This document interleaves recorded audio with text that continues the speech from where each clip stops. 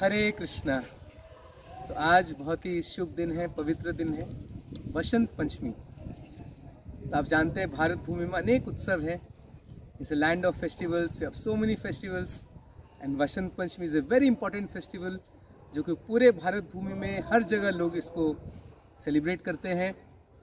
और बहुत ही सुंदर उत्सव है। तो हम गुरुकुल में भी आज उत्सव बना रहे हैं और आप सबको बहुत बहुत शुभकामनाएँ वसंत पंचमी के लिए। तो वसंत पंचमी क्या है? देखिए, वसंत पंचमी। तो वसंत यानी वसंत ऋतु आज से शुरू हो रहा है। इसको बहुत अच्छा ऋतु माना जाता है। ऋतुओं का राजा माना जाता है। वसंत ऋतु बहुत सुंदर फूल खिलते हैं जिसमें। तो वो ऋतु आज से शुरू है। Is the beginning of the spring season Vasant.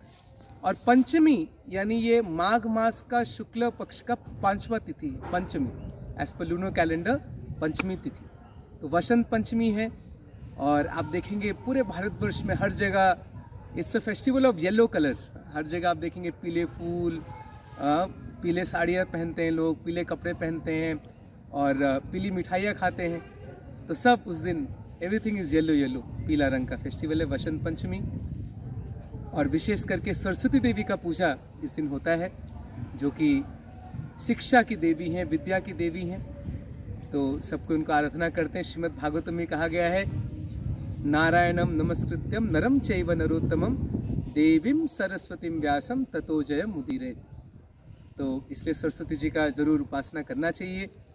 प्रार्थना करना चाहिए, हमें अच्छी सद्बुद्धि दे, जिसके द्वारा हम भगवान की भक्ति में आगे बढ़े। और साथ ही साथ आज रघुनाथ दास गोस्वामी श्री रघुनंदन दास ठाकुर, विश्वनाथ चक्रवर्ती ठाकुर, अनेक आचार्यों के आज आविर्भाव तिथि है।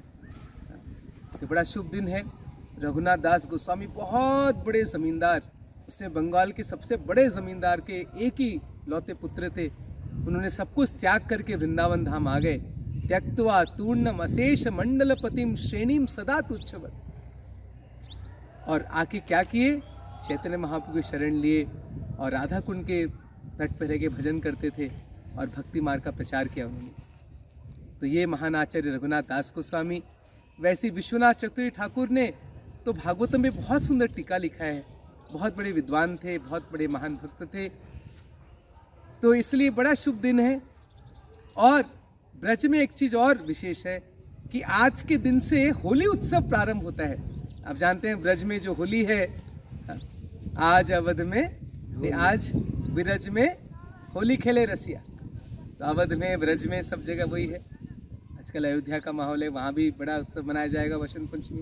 लेकिन ब्रज में ब्रज में इसका बड़ा विशेष महत्व है, क्योंकि एक महीना तक, आज से लेके और होली जो गौर पूर्णिमा तिथि, वो 25 मार्च को है।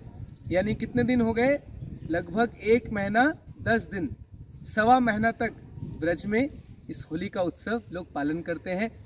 तो जितने मंदिर हैं राधा कृष्ण मंदिर में, आज से ही रंग लगाना, गुलाल लगाना शुरू कर देंगे। तो ये बड़ा ही सुंदर उत्सव है और ब्रज में तो एक अलग ही इसका उत्साह, आनंद होता है। आज हमारे भक्ति वेदांत गुरुकुल में भी हम उत्सव बना रहे हैं। हमारे जो यहाँ के स्टूडेंट्स हैं, उन्होंने आज सरस्वती जी के चरणों में फूल चढ़ाया और बाकी बहुत सुंदर उत्सव बनाया आज भी। तो आप सबको फिर से बहुत बहुत शुभकामनाएँ। महामंत्र का जप कीजिए। सरस्वती जी को प्रार्थना कीजिए कि हमें सद्बुद्धि दें। हरे कृष्णा हरे कृष्णा कृष्णा कृष्णा, हरे हरे हरे राम हरे राम राम राम, हरे हरे, शिला प्रभुपाद की जय। बहुत बहुत धन्यवाद हरे कृष्णा।